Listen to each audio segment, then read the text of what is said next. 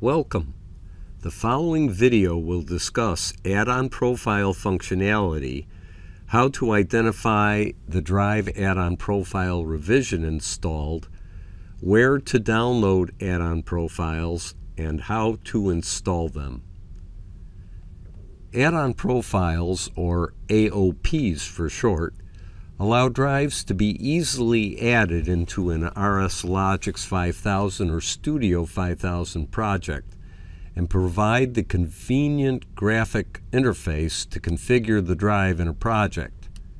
As new drive products are released, and as the firmware of existing products is enhanced and updated, the AOP for that product must also be updated in order to utilize the full functionality of that product.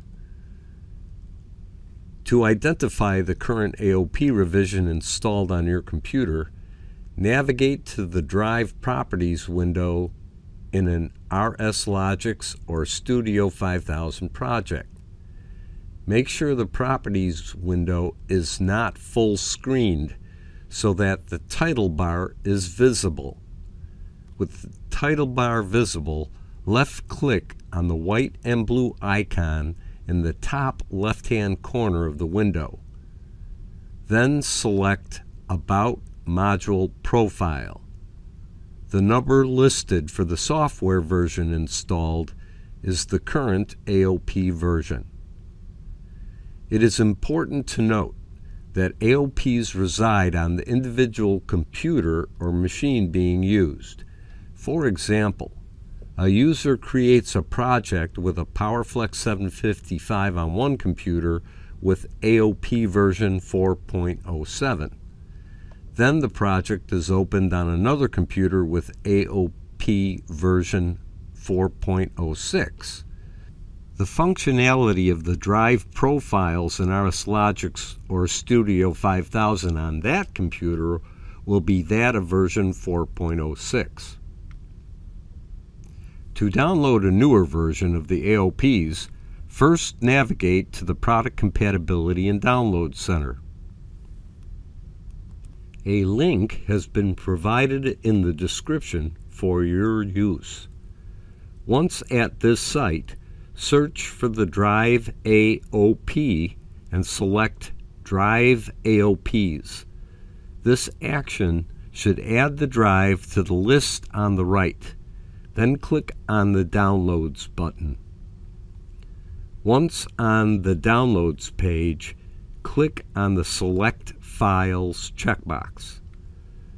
The available downloads window will appear. Now select the AOP for the drive you wish to use in the RS Logix or Studio 5000 project. If you are using a standalone PowerFlex 755, 753, 700, 70, 4 class or legacy ScanPort drive, make sure to select the AOP for PowerFlex 4 class and 7 class drives. If you are using a different drive product, choose the appropriate selection. With all of the desired files selected, click the Downloads button.